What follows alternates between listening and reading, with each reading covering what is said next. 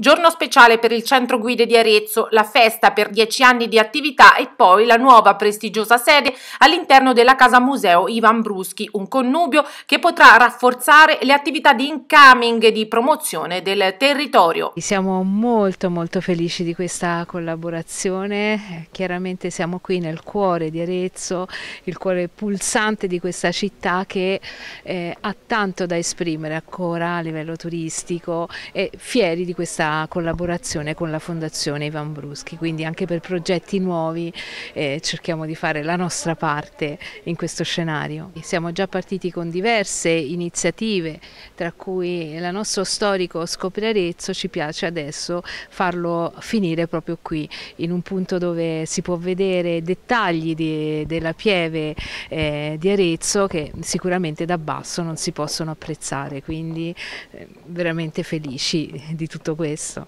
E in questo momento festeggiate anche i dieci anni di attività del Centro Guide Arezzo, eh, come è cambiato il modo di accogliere i turisti, sono più esigenti, eh, insomma che cosa serve? Il turismo sì è diventato più esigente, non basta soltanto presentare un territorio, ma oggi vogliono conoscere proprio le cose più intime di un territorio, il DNA e, ehm, e quindi noi eh, ci fa piacere avere la possibilità di portare sempre in un focus dettagliato su particolari che sicuramente senza una guida professionale non, non sarebbero sicuramente colti un connubio che rafforza ancora di più i progetti di incoming, di accoglienza nel territorio.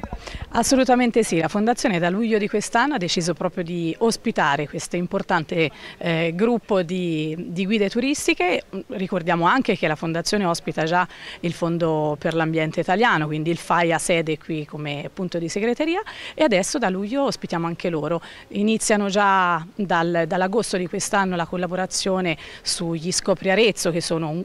un importante progetto che il Centro Guide ormai ha in sé da, da anni che lo ha dirottato anche all'interno della Casa Museo, ma oltre a questo ci sono tantissimi altri progetti in, in conto. Cosa vi aspettate da questa collaborazione? Di sicuro tantissimi turisti che verranno a visitare la Casa Museo, tutti quelli che proprio loro riescono a dirottare in città. Anche la Casa Museo Ivan Bruschi sta seguendo la Banca Tirrenica nella fusione con Ubi che si completerà lunedì 27 novembre. Nonostante si tratti di un passaggio delicato, all'interno della Casa Bruschi si percepisce una progettualità nel segno della continuità, come se quanto accade fuori non riuscisse a scalfire in alcun modo il valore di queste mura e delle collezioni di Ivan Bruschi.